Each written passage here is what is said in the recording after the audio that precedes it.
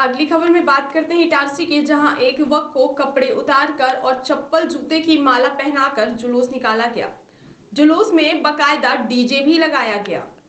युवक के मुँह और सिर पर गोबर लगाकर पूरे गाँव में घुमाया गया। युवक की गलती सिर्फ़ इतनी थी कि वह अपनी पत्नी को और लेने ससुराल पहुँचा था।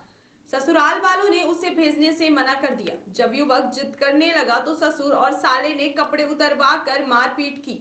जुलूस का वीडियो सामने आया है। नर्मदापुरम ज़िले के माखन नगर क्षेत्र के एक गाँव के रहने वाले 30 साल के युवक ने पथरोटा थाने में शिकायत दर्ज कराई है। एएसआई एमएस भट्टी ने बताया कि अपनी पत्नी को लेने ससुराल पहुँचे युवक की साले ससुर ने पिटाई की। फिर रिश्तेदार, सरपंच और गाँव के एक युवक ने उसे जूते चप्पल की माला पहनाई। डीजे बुलाकर गाँव में जुलूस निकाला। इस दौरान ससुराल वाले उसे लाठियों से पीटते रहे। पुलिस ने तीन आरोपियों पर मामला दर्ज किया है।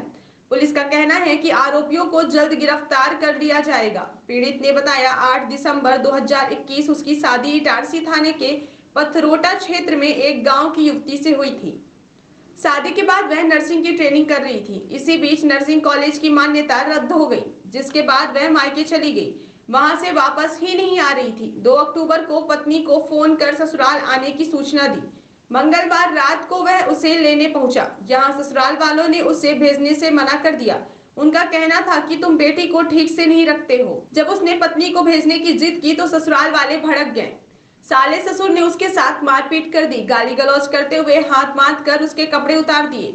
अवधेश प्रताप सिंह एडिशनल एसपी नर्मदापुरम ने बताया कि विवेक नाम का युवक माखन नगर का रहने वाला है। युवक की पथरौटा थाना क्षेत्र के एक गाँव में ससुराल है। कुछ समय पहले पत्नी पढ़ाई को लेकर कॉलेज में विवाद हुआ था, जिसके बाद वह मायके चली गई थी। युवक पत्नी से बात करने के बाद उसे ससुराल लेने पहुँचा था, जहाँ ससुर साले और परिजनों ने युवक के हाथ बाँध दिए। पैंट शर्ट उतार कर जूतों की माला पहनाकर गाँव में घुमाया। सूचना मिलने के बाद पुलिस ने तत्काल मामला दर्ज किया है।